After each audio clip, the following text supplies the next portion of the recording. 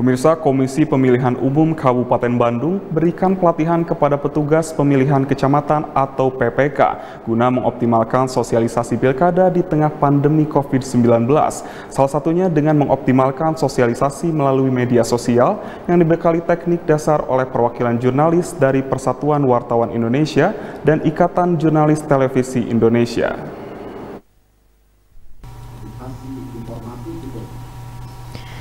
Pemilihan kepala daerah atau pilkada yang digelar di tengah pandemi memunculkan sejumlah peraturan baru, terutama dalam pelaksanaan sosialisasi yang harus dilakukan secara protokol kesehatan ketat.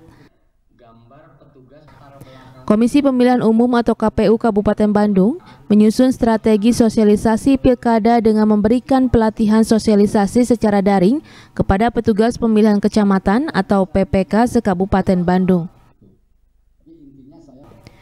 Dalam pelatihan tersebut, para petugas PPK dibekali materi tata cara pengemasan informasi secara daring yang diberikan oleh perwakilan jurnalis dari Persatuan Wartawan Indonesia Kabupaten Bandung dan Ikatan Jurnalis Televisi Indonesia atau IJTI Korda Bandung Raya. Dengan terselenggaranya kegiatan ini, kita berharap eh, PPK dapat mengaplikasikan uh, penyebaran informasi dan sosialisasi kepada masyarakat khususnya tentang penyelenggaraan pemilihan bupati dan wakil Bupati Bandung tahun 2020 melalui media online. Karena seperti yang sudah disebutkan tadi ada pembatasan pembatasan kegiatan dan jaga jarak dan sebagainya.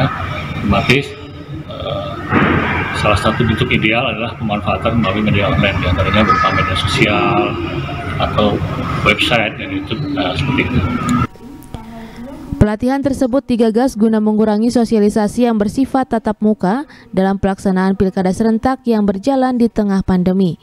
Sehingga protokol kesehatan dapat diterapkan secara maksimal dalam jalannya pesta demokrasi Pilkada Kabupaten Bandung. Yuwana Kurniawan, Bandung TV